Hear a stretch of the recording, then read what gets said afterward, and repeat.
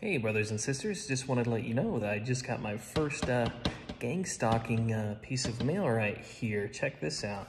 So it says back. Hmm, that's interesting. It looks like a, a dark and light kind of uh, a thing. It looks like some kind of weird like portal demon with like some kind of, uh, I don't know, portal, some kind of stabby thing crazy stuff. But uh, you know what I think of it? I think it's trash, okay? The enemy will try and curse you, usurp you, do anything they can in order to get underneath your skin.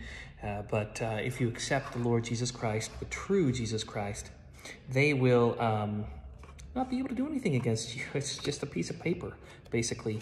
And uh, you just cast out the demons, spells, curses. In the name of Yeshua Mashiach, bind you, cast them out, bam, that's it. So uh, just be on guard. They kind of know who knows certain things. And uh, so, all right, amen, God bless, and take care.